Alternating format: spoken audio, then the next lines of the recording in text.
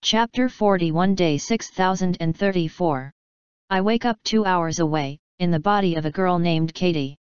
Katie doesn't know it, but today she's going far away from here. It will be a total disruption to her routine, a complete twist in the way her life is supposed to go. But she has the luxury of time to smooth it out. Over the course of her life, this day will be a slight, barely noticeable aberration.